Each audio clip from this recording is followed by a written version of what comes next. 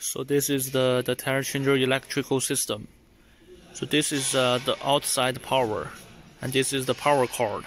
From the uh, outside power this power cord and to the uh, the machine switch over here. And then the motor this is the motor also connected to the switch. So this is the the power outside power cord and this is on the other side is the motor uh, cable okay now let's see how it works 好开始松 okay now this is a clockwise rotation 往上抬好 oh now this is anti-clockwise rotation so this uh, pedal, they control the switch, press down or press up, and the motor will have clockwise rotation or anti-clockwise rotation. And we will introduce how to test the motor itself. So when there is a tech, when there is electrical problems, you want to know, you, you doesn't know if it is coming from the motor or from the switch. Then you need to do some troubleshooting. So today we will introduce how to test the motor itself. Test the, the motor itself so we know if this is a motor problem or is a switch problem. So first we will do is we disconnect the motor from the switch. Okay.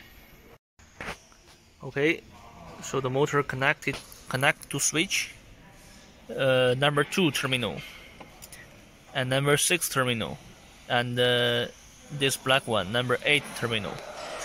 And uh, you can see the metal bridge, number 6 and number 10 has a bridge and a metal bridge. And the, on the bottom, number 4, number, number 8 and number 12, they also have a bridge. This is uh, how the motor is connected to the switch. Okay, let's remove the, the cable.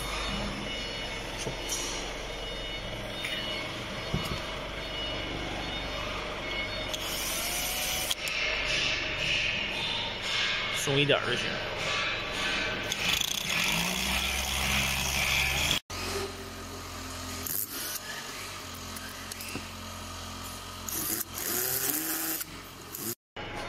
Okay, now the motor is uh, fully disconnected from the switch.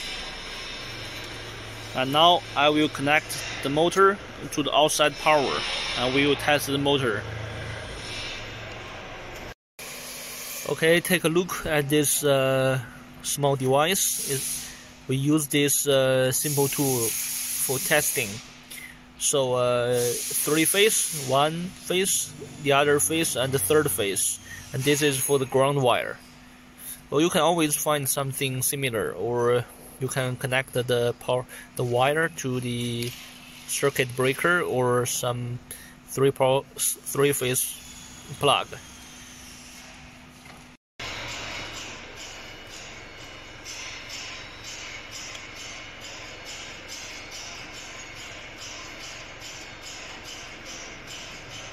This is ground, ground wire. Okay. Okay, and uh, my colleague will switch on the uh, the power. So let's see the motor. Okay, now the motor is running all right.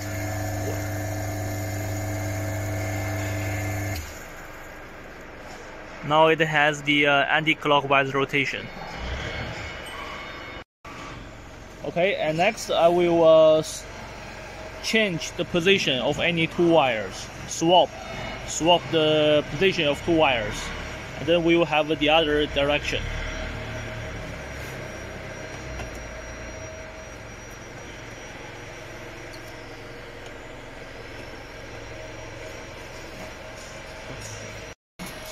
Okay, now I already swapped the two wires and uh, let's see the testing results.